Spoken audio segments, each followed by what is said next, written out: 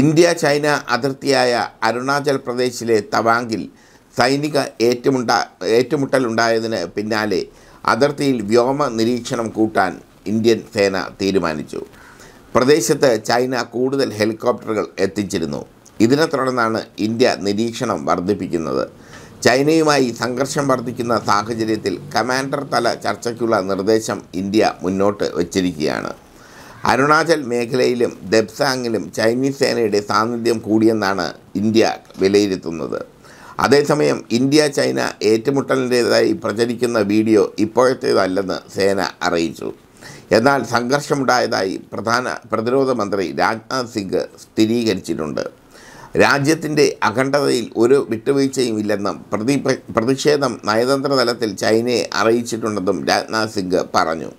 ചൈനയുടെ അതിക്രമത്തെപ്പറ്റി പ്രധാനമന്ത്രി നരേന്ദ്രമോദി വിദേശകാര്യമന്ത്രി എസ് ജയശങ്കർ സൈനിക മേധാവികൾ നയതന്ത്രജ്ഞർ എന്നിവരുമായി ചർച്ച നടത്തിയ ശേഷമാണ് രാജ്നാഥ് സിംഗ് പ്രസ്താ പാർലമെന്റിൽ പ്രസ്താവന നടത്തിയത്.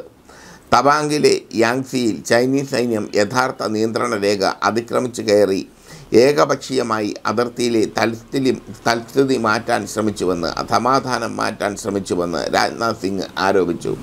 ഇന്ത്യൻ സേന ശക്തമായി നേരിട്ട് അത് വിഫലമാക്കി. ചൈനീസ് പട്ടാളം ഇന്ത്യൻ അതിർത്തി കടക്കുന്നത് അവർ ധീരമായി തടഞ്ഞു.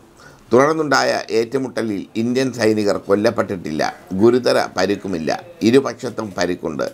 ചൈനീസ് സേനയെ ഇന്ത്യൻ സേന തുരത്തി ഓടിച്ചുവെന്ന് പാർലമെന്റിൽ നടത്തിയ പ്രസ്താവനയിൽ രാജ്നാഥ് സിംഗ് വ്യക്തമാക്കി.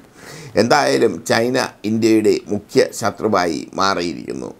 അതിർത്തിയിൽ ഇപ്പോൾ ഏറ്റവും കൂടുതൽ പ്രശ്നമുണ്ടാക്കുന്നത് ചൈനയാണ്. പാകിസ്ഥാനേക്കാൾ തലവേദനയായി ഇന്ത്യയ്ക്ക് മാറിയിരിക്കുന്നത് ചൈനയാണ്. ഇന്ത്യയുടെ അയൽ രാജ്യങ്ങളെയെല്ലാം ചൈന ഹൈജാക്ക് ചെയ്തിരിക്കുന്നു. നേപ്പാളിനെയും ബംഗ്ലാദേശിനെയും ഭൂട്ടാനെയും ബർമ്മയെയും ഒക്കെ ഹൈജാക്ക് ചെയ്തുകൊണ്ടാണ് ചൈനയുടെ മുന്നോട്ട് പോക്ക്. ഈ സാഹചര്യത്തിലാണ് അതിർത്തിയിൽ വ്യോമ നിരീക്ഷണം ശക്തിപ്പെടുത്താൻ ഇന്ത്യ തീരുമാനിച്ചത്. അതിർത്തിയിൽ വ്യോമ നിരീക്ഷണം ശക്തിപ്പെടുത്തിക്കൊണ്ട് ചൈനയുടെ കടന്നുവരവിനെ ചെറുക്കാനാണ് ഇന്ത്യൻ സൈനിക സൈനികരുടെ നീക്കം. പല പ്രാവശ്യം അതിർത്തി ലംഘിച്ചിട്ടുണ്ട് ചൈന. പല പ്രാവശ്യം പല പ്രാവശ്യം പ്രകോപനം സൃഷ്ടിച്ചിട്ടുണ്ട് ചൈന.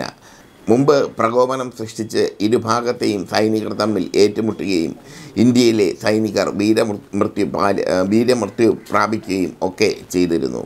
ഇന്ത്യൻ സൈനികർ അന്നും ധീരമായ ചെറുത്തുനിൽപ്പാണ് ചൈനയ്ക്കെതിരെ നടത്തിയത്. അന്നും ഇന്നും ചൈനീസ് സൈനികരെ തുരത്തി ഓടിച്ചുകൊണ്ട് ഇന്ത്യൻ സേന തങ്ങളുടെ ശക്തി തെളിയിച്ചിരിക്കുകയാണ്. അതിനു പുറമെ വ്യോമ നിരീക്ഷണം നടത്തി ചൈന ചൈനീസ് ചൈന അതിർ ചൈനീസ് സൈനികർ അതിർത്തി കടക്കുന്നുണ്ടോ എന്നറിയാനുള്ള എന്നറിയാനുള്ള മാർഗവും ഇന്ത്യ അവലംബിച്ചിട്ടുണ്ട്.